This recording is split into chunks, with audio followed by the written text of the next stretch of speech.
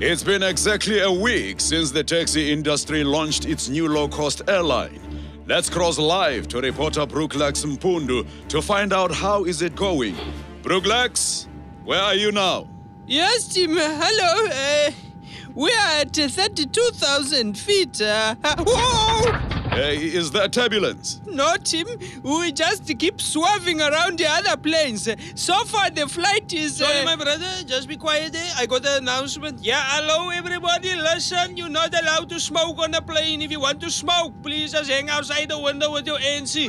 Mama, you and your coat can just squeeze in there by the back window. Okay, just put Daisy there in the rack. Thank you, Mama. Hey, Whitey. Captain, Whitey, check out the windows. Is that uh, SAA or is it uh, one of ours? it's SAA Captain. Hey, why are you shooting? No, man, they're always stealing our routes. Whitey, how much space we've got in the back? Oh, Captain, we can go squeeze in three more.